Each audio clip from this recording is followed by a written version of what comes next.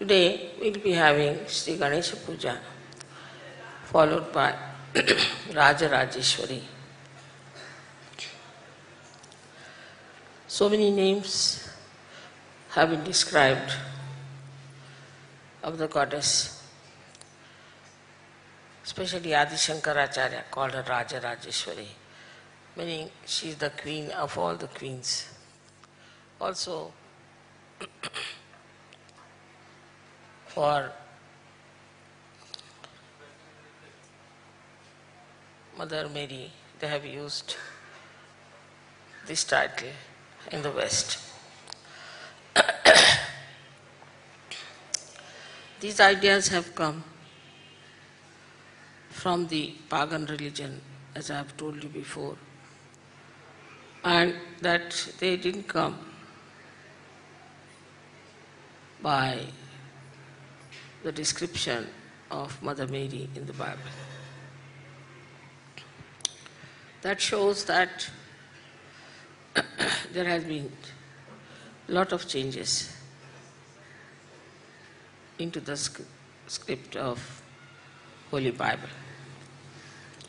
Also there has been a lot of changes in the script of Indian scriptures, even Gita.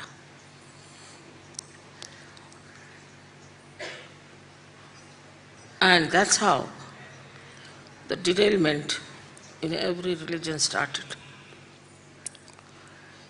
And the intellectuals took advantage of it, uh, started projecting their own idea,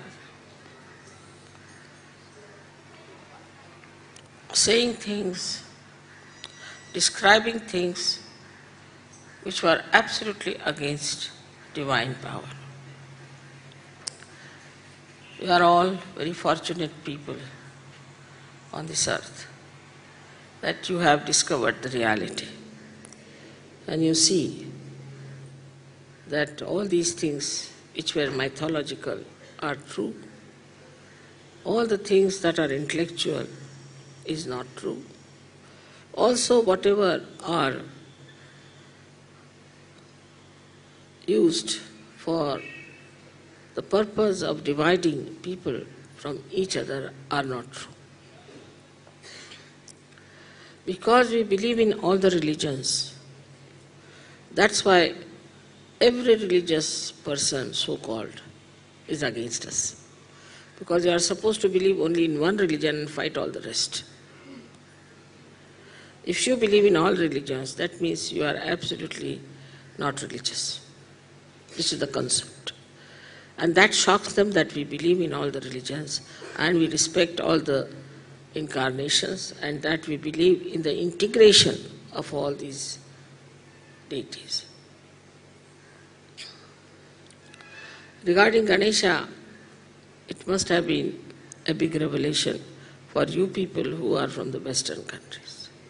Even in the north, I don't find Ganesha is so much worshipped as worshipped in the south, especially in this area and also in Maharashtra. Because in Maharashtra we have eight Swayambhu Ganeshas and they all believe in it.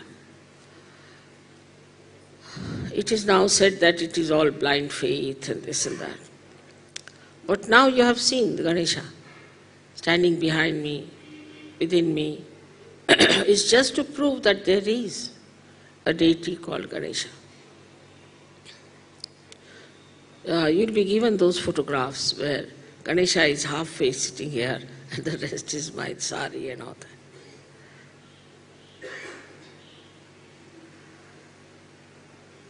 But all this is to convince you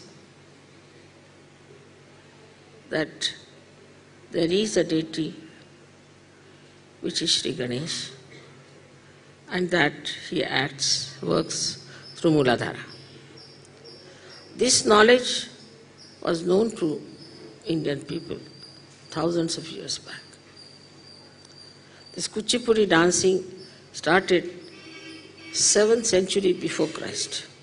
So you can imagine the concept of Ganesha must have been thousands of years back. So the people were very much evolved spiritually in this country And they knew what are the deities are, how they look like, what are their functions are. Though it was a secret knowledge for the general public, but whatever the saint said was accepted because there was no ego about it. I have been trying to locate why in the West people develop so much of ego. Still, I have not been able to find out the basic reason. Why this kind of aggressiveness comes in uh, through the ego part. One can say that competitiveness and all that, but this has been the history in the West that even the people who followed Christ, which was nothing but humility, uh, absolutely writ large, everywhere, still those people were so aggressive. Now, the humility is the main thing one has to understand. And you'll be surprised the humility is called as Vinay, which is the quality of Sri Ganesha. Vinayaka. Vidya Vinayana Shobhati. Vidya means the knowledge is only decorated with humility. So the humility you saw yesterday of these great artists and the great gurus who were there. The guru invited me to his academy and he made all kinds of uh, offerings as they would do to a goddess. I was so much touched. The ready acceptance of me and of Sajo. Even this Kalakshetra, which was dominated by Theosophical Society, though this lady didn't bother so much about Theosophical Society, and she had created this big auditorium and all that, and everything she dedicated to art. She didn't allow Theosophical Society enter into it. Despite all that, how they accepted me, all of them, can see so clearly their devotion and understanding. To be humble with a saint is absolutely an unwritten law of this country. And a saint is not to be challenged, not to be dominated. Whatever the saint says must be accepted. So the first quality that Ganesha should give us is Vinay. Vinay meaning the humility. The humility is not superficial. Like we go on saying, sorry or excuse me, I'm afraid. Not that way. It's not watching, it's not just uh, lip service, but from within the humility has to come. Now the humility is of course is always marked by ego. And the ego just keeps you afloat. And you never understand that you have been egoistical. Even when I talk about ego, people think that mother is saying about somebody else there. They never think it's me who has this ego. So Ganesha is the killer of ego. Because humility is the only thing that really can neutralize your ego. To humble down yourself, you have to see what? For example, in this country you have come very simple people, you see, living very simply. They don't have all these uh, sophisticated things around them. Eating with their hands, eating on the plantain leaves, you see. And according to certain ladies who have lived here, the Westerners, they think they are all uh, primitive. But see the way they have developed this art. This kind of swiftness and this kind of, even jumping this kind, you cannot achieve. Now, what is the reason for this kind of working? Is humility towards art. Art is to be respected. A guru is to be respected. Respect is the only way to learning anything. That is sort of ingrained uh, in an Indian blood, I think. That you must obey your guru implicitly. Implicitly. And this guru is training so many people there, so many girls there. Not for anything but just to express his art. He doesn't get much money, I could see that. They have very little provision and also he doesn't charge too much. But the dedication he has is like the dedication of Sri Ganesha to his mother. And the way he is completely drawn into it. All other things are not important. So, for humility, you have to withdraw your attention from other things. This is an extremely important thing. If your attention is going to your other problems, this, that, or if you are trying to come to Sahaja Yoga through other channels, it's not going to work out. You have to humble down in your heart. Absolutely humble down. He's innocent, that's why he's humble. If you are not innocent, then you cannot be humble.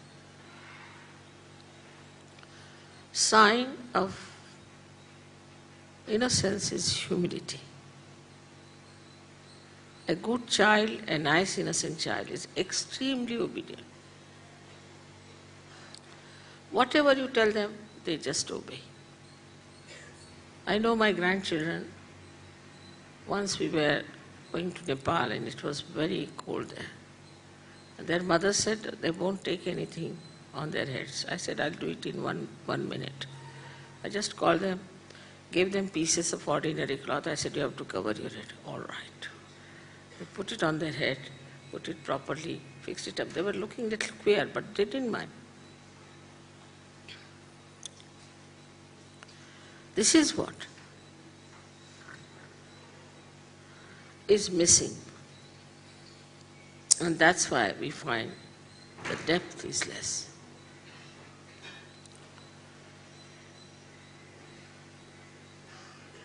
Not just only the conditionings, I would not say the conditioning. People are out of conditioning. Even Indians have become like that. It's difficult for them to be humble. Very difficult. Uh, you may call it Western influence or maybe that they have forgotten their past. But humility is so important. Like I must tell you, from our childhood, though I was born in a Christian family, we had to touch the Mother Earth and ask for forgiveness first to your head. Then touch the feet of your parents and all elders in the family, isn't it so? Touch everybody's feet uh, who are elder in the family. Even some old servants, you see, who had looked after our elder brothers and all that, touch their feet. But that humility is lacking. And that dignity that elders should have is also not there. But whatever it is, it was our duty to touch everybody's feet and not to discuss the elders. So this will create such a beautiful atmosphere in Sahaja Yoga. If you insist that, am I humble in doing this? Just ask a question. Have I been humble in doing this or in saying this? Now the problems are criticizing the leaders. They are leaders because they deserve it. The day I find they are no good, I'll throw them out. Also, you know that very well. But there is no humility. Then the humility is replaced by ego. And that ego creates an ego in the leaders. The leaders become egoistical. And so many leaders are thrown out. I mean, I just don't know where the balance has to come, whether I should blame the members or the leaders. So, Mother has appointed them as leaders. So let us be humble. After all, there must be some reason why Mother has asked them to be the leaders. Why should we try to quarrel with them, find faults? Like a union, we form.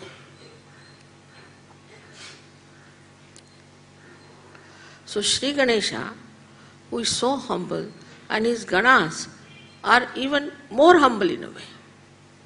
Because he won't tolerate any Gana who is not humble to mother.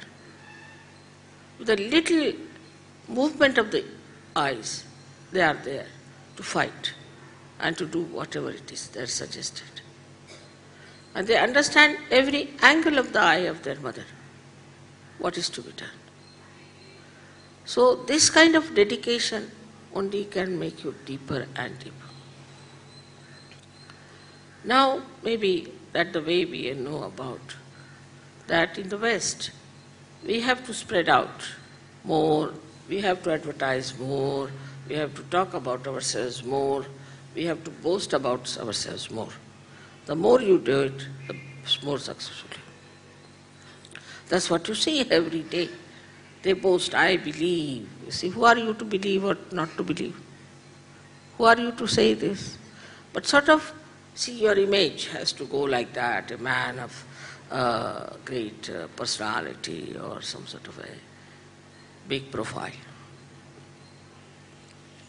You create a profile. Absolutely artificial, nonsensical. And very surprising to such a profile, which is so artificial, people bow. Maybe they are also artificial. That's why they bow to these artificial people. I'm surprised. I mean, these are well-known crooks. People know they are crooks. They have done all kinds, but still they will prostrate before them. Because maybe that they want some sort of a material advantage out of it. Or I don't know, some sort of an artificial advantage. Even taking a photograph with such a man is regarded as something very great. So all these ideas must be seen through by Sahajogis. They have to see through this joke, this drama, what's going on, and also reflect it back and introspect and see, I hope I don't have this in me. Sometimes we laugh at others, but we ourselves are in it. So once we start introspecting, we see within ourselves, yes, this is there. There are certain Sahajogis in certain countries I've always been reported as suddenly they say, Mother has given me special powers. Or they say, I am Mahamataji. Also, there was one like that, Mahamataji.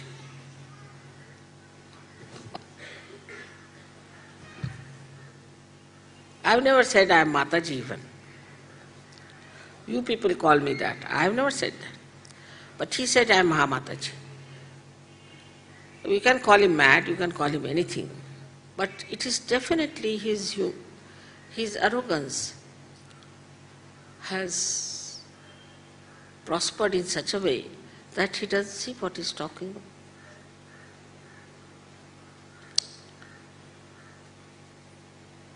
This is how. Also, you pamper the ego of your leaders by attacking him. The more you attack him, he reacts. And when he reacts, his ego goes on pumping like that.